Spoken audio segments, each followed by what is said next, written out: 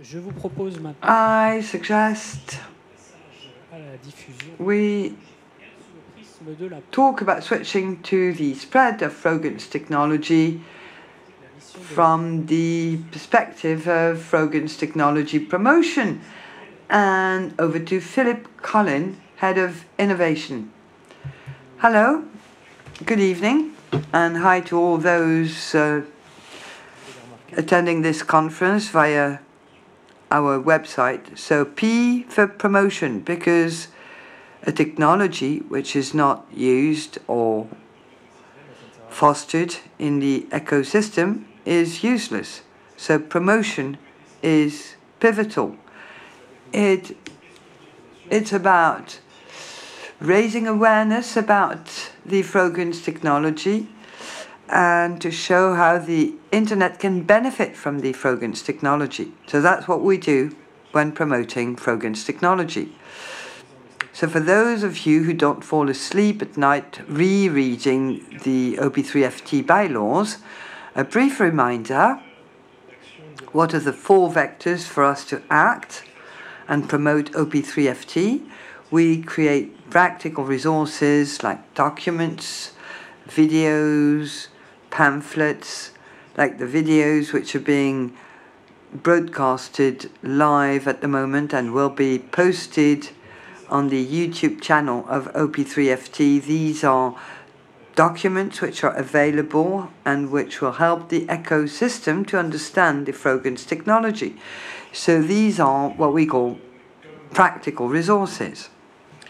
And like in any human group, you also need an conquer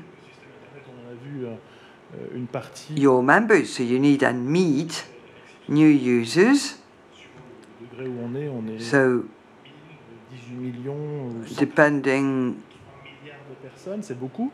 on where you stand, you have uh, a large number of web users, three billions apparently. So we need to reach out to them where they are, and they're based in their countries.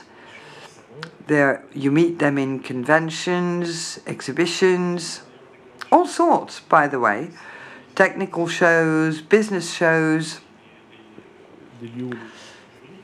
legal conventions. So we have to walk outside our comfort zone and meet people who'd be interested in the OP3FT ecosystem. And when we meet them, they usually ask questions, so we need to answer. We answer live most of the time, and I'll be delighted to answer any of your questions. Uh, and then we use uh, circulation lists and emails, but the Frogans technology, with its distribution power, circulation power, raises questions, and we need to answer questions. Then we facilitate meetings between different stakeholders. So, this is a perfect example. You have uh, members of the internet ecosystem that come and meet together, but it can also be in third venues like Hackathon, where members of the ecosystem get to meet one another. So that's the, the overview of what we do at promotion. So now let me be more specific. Historical background to start with. aussi quatre, quatre points. Donc, euh, le, Since les rencontres de 20 so the first thing is uh, meetings with the ecosystem. We've had eight conferences. This is the eighth Frogans Technology Conference, which allows members of the ecosystem to meet one another. So we've developed various topics like um, we looked for topics for each individual conference that would be of interest to members of the ecosystem. And I fully realize that when I talk about members of the ecosystem, it's very vast. Frogans technology is not dedicated to just one category of the ecosystem. It can potentially have an impact on all members of the ecosystem. And that's part of what makes our job fun. Over the last two years, we also took part in awareness campaign for trademark holders. One of the first milestone when we introduced the Frogans technology consisted in trademarks being capable of registering their brands or their networks. So we met with marketers, we organized workshops where trademark holders could talk to us directly on various topics, address registration, dispute resolution, etc. So each time it was different because we were talking to a different part of the ecosystem. We also participated physically to global events. ICANN, Inter, Cybersecurity International Forum. Uh, I mean, we are in the world of technology, but this is a human business at the end of the day, and I like to understand what was the intention of a designer, and the designer likes understanding what the user uh, does. So, meeting is crucial in order to share from different perspectives. So, we use these conventions to take part in these discussions. We are sometimes invited to make a presentation. And with the convergence of FSDL that is now stable, we also took the initiative of spreading the good word with uh, before early developers. So, you know, technical guys, those who eat HTML for breakfast, have lunch over JavaScript and have dinner over SCSS. So these guys, they have a specific expertise that we are interested in in order to validate FSDL. You know, our task is easier now but when the uh, FSDL language is locked in. Okay, so that's where we stand today. We're locking in the FSDL language, and I say, Good Lord, that's great, because now we can start talking to the world. Why? Because, and okay, you announced end of October to be confirmed. But what's important here is that now we can talk to developers and we can tell them, okay, ladies and gentlemen, you can develop Frogans site. You have a guarantee that they will be accessible and visible just like that for six months, six years, 20 years. And this is not a promise we could make up until now. And by the way, I'd like to pay tribute to all the developers that we met in Africa, in China, in Japan, in Europe, of course, in the US, and elsewhere to whom we with whom we shared the, message. We said, well, FSDL is a language that's being matured. So, you know, it's evolving. And at one stage, we'll look it in. And that's now. And then there is another powerful need, which is to uh, decide how we can communicate to those billion people. Remember, 18 million developers, web developers, and engineers, software developers working for publishers. So, quite clearly, we won't be able to talk to them one by one. So, we'll have to catalyze resource creation by others. It doesn't we are not trying to say that we are the standard experts for FSDL, so we'll develop tutor tutorials. This is not the way it works. There are zillions of different types of tutorials, so that would be a huge work. And then you have cultural specificities.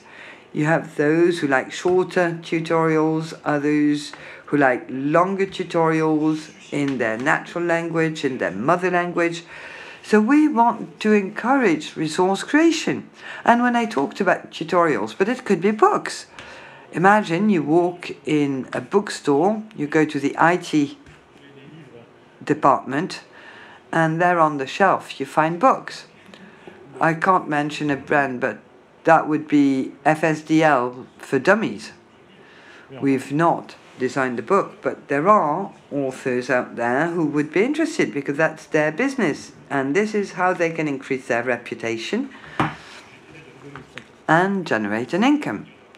So imagine a bookstore in Paris, but there is a bookstore in Sao Paulo, Brazil, the same, another one in New York, and we need and encourage this process of resource creation by others. Okay, I was talking about the bookstore, that's one example, but there is more. There is online resources, for instance, like tutorials, books, etc. Uh, à l'aube de la diffusion, So we're just about to start spreading the technology. So, so our role is evolving. Promotion is going to change. We need undefined priorities. So after we heard this presentation on our strategy via a cone, we'll focus on the tip of the cone because this is where you have the biggest leverage effect, uh, effect where you have people who can potentially generate tutorials. So we'll use knowledge, we'll use education, intellectual curiosity. We will use very simple human levers. People say, What's the next big thing? We don't know what the next big thing is going to be, but we all want to have a go at it. So, how are we going to achieve that? Well, just by getting in touch with the guys and by attending various events like Hackathon. This is what we did year. Uh, during FTC 7 in June, we met with the organizers of the Hackathon in the Ivory Coast. They invited us, and then they came to share with you here in Paris. So we will on va aussi aller meet this request, and we will also instill similar requests by making presentations during technical conferences. For those of you who follow us, if you're a developer, there are you know that there are some conferences like Devoxx, GoTo, and PHP conferences organized everywhere in the world, getting together hundreds and thousands of senior developers. So the OP3FT needs to be there and spread the good word in these technical conventions where conversation is already taking place. We're not preaching to the choirs, we're preaching to people who are already convinced. then we need an answer local initiatives. We need and speak before technical audiences during big conventions. We will continue attending and participating to the ICANN Congress because that's a very simple way to have a global outreach. And then we'll change the format of the FTCs. We will try and go more in depth in certain topics. We'll select technical topics and we'll go more in depth in order to better demonstrate the specificities and, and benefits of the Frogans technology. So this is what we are going to start doing as of tomorrow, October 12th, because that's the beginning of the spreading of our technology. So we get organized to be able and meet the challenge. Merci beaucoup. Merci beaucoup, Philippe. Thanks a lot, Philip.